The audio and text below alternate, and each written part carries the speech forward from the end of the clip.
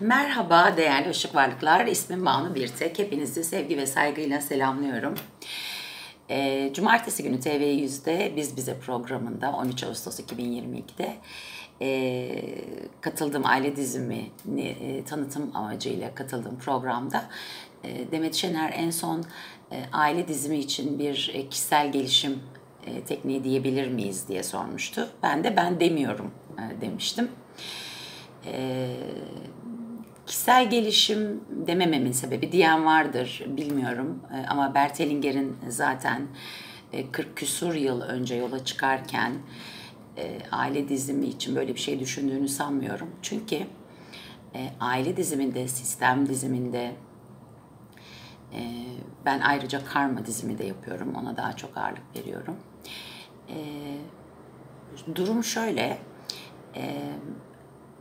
Biz aslında hem bireysel olarak hem de konu nereye gidiyorsa e, çalışma sırasında bağlandığımız morfogenetik alanda alan bizi bilen alan nereye yönlendiriyorsa ailemizdeki, sülalemizdeki kişiler de aranıyorlar. Hayatta olsun olmasın. Zaten ölümsüz olan ruh için çalışıyoruz. Eee bizim çocuklarımız, torunlarımıza etkisi var olumlu anlamda. Dolayısıyla kişisel gelişimden ziyade aslında bütünsel bir arınma, şifalanma ve dönüşüm çalışması daha doğru olur. E, sistem dizimleri çalışmalarını e, tanımlamaya çalışırken. E, hepimiz bütünün parçalarıyız, benzerliklerimizle, farklılıklarımızla birey olabilmek, bireysel sorumluluklarımızı alabilmek çok çok önemli.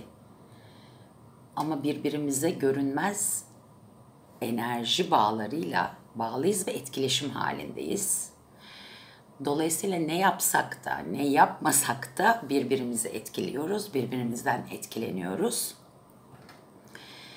Ee, gelişmekten ziyade arınma, temizlenme, şifalanma, dönüşüm bu çalışmanın sağladığı faydalar. Diğer faydalar, geliştirdiği yanlar farkındalığımızı geliştiriyor. Ve ama yine dediğim gibi kişisel değil.